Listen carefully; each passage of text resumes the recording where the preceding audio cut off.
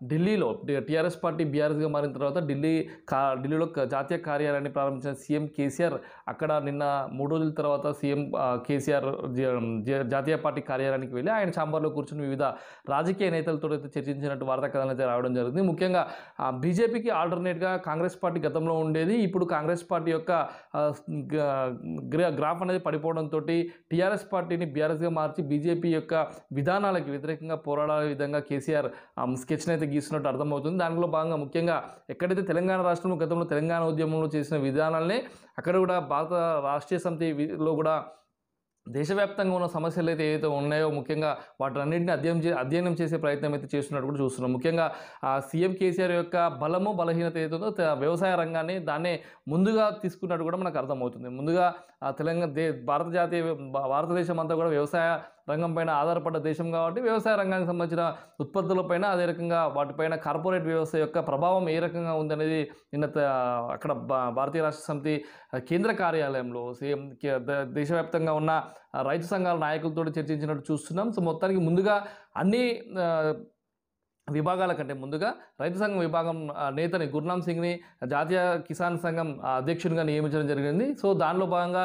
దేశవ్యాప్తంగా కూడా కిసాన్ ర్యాలీని కిసాన్ ర్యాలీని నిర్వహించారని ఓ వార్త అయితే రాజు ఈ కిసాన్ యాత్ర దాని పేరు. సో కిసాన్ యాత్ర పేరు మీద దేశవ్యాప్తంగా కూడా రైతు సంఘం ఉద్య రైతు ఉద్యమాలు నిర్వహించాలని సీఎం కేసీఆర్ వాళ్ళతో చర్చించినట్టు దాని యొక్క విధి విధానాలు ఎజెండాలు ఎట్లా ప్రారంభించాలి? ముఖ్యంగా ఆంధ్రప్రదేశ్తో పాటు తెలంగాణ ఆంధ్ర ఇటు కర్ణాటక ఒడిశా మహారాష్ట్ర పంజాబ్ గుజ గుజరాత్ అదే రకంగా ఈశాన్య రాష్ట్రాల్లో కూడా ఈ తెలంగాణ ఈ- ఈ రైతు సంఘాలకు సంబంధించిన ఉద్యమాలని ఏ రకంగా ప్లా మ్యాపింగ్ చేయాలనేది కూడా ఆలోచించినట్టు కూడా వార్తా కథనాలు అయితే రాయడం జరిగింది. ముఖ్యంగా చాలామంది రైతు సంఘం నాయకులతో చర్చించి రానున్న రోజుల్లో అంటే సంక్రాంతి పండుగ అయిపోగానే ఇక కిసాన్ యాత్ర పేరు మీద దేశవ్యాప్తంగా సీఎం కేసీఆర్ యాత్రలకు బయలుదేరే అవకాశం ఉంది. అయితే ఈ నేపథ్యంలో మనకు ఒక డౌట్ అయితే వస్తుంది. మరి తెలంగాణ వదిలిపెట్టి భారత జాతీయ రాష్ట్ర సమితిగా ఏర్పడిన తర్వాత సీఎం కేసీఆర్ జాతీయ రాజకీయాల్లో చురుగ్గా ఉంటున్నారు. అదేవిధంగా కిసాన్ యాత్ర పేరు మీద అక్కడ బిజీగా ఉన్న నేపథ్యంలో తెలంగాణ రాష్ట్రంలో ఉన్న ప- ఈ పద- ప్రభుత్వాన్ని ఎవరు నడిపించాలి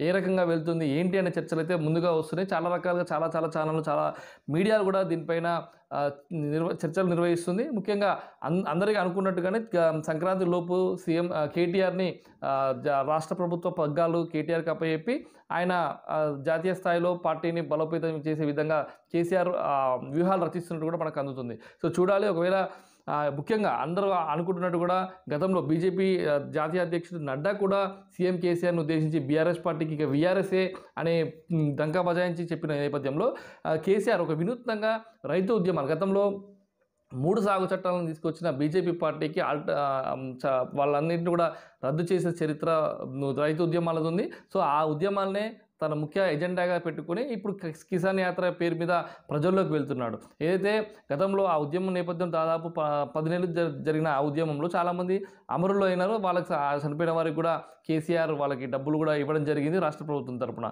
ఇప్పుడు అదే అంశం పేరు అదే అంశంతో ప్రజల్లోకి వెళ్తున్నాడు. సో చూడాలి ఈ కిసాన్ యాత్ర ఏ రకంగా ప్లానింగ్ ఉండబోతుంది ఎట్లా ప్లాన్ చేస్తారు దానికి వివిధ రాష్ట్రాల్లో ఉన్న నాయకత్వ ప్రభుత్వాలు కూడా అనుమతిస్తాయా లేదా? దీనికి ఆల్టర్నేట్గా బీజేపీ ఏ రకంగా స్వీకరిస్తుంది? అదేవిధంగా మరో పెద్ద పార్టీ అయిన కాంగ్రెస్ పార్టీ కూడా దీన్ని ఏ రకంగా స్వీకరిస్తుంది? బీఆర్ఎస్ కేసీఆర్ కాంగ్రెస్తో కలిసిపోతుందా? లేక ఇండిపెండెంట్గా ఎదిగే అవకాశం చూస్తుందా కూడా చూడాల్సిన అవసరం ఉంది.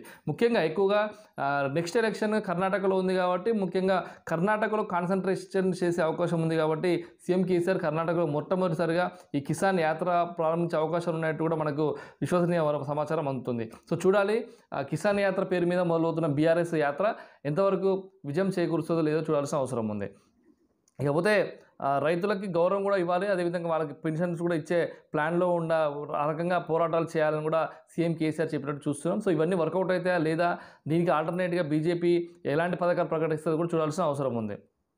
ఇది బీఆర్ఎస్కి సంబంధించిన కిసాన్ యాత్ర వార్తకు సంబంధించిన వార్తా కథనం ఇకపోతే నిన్న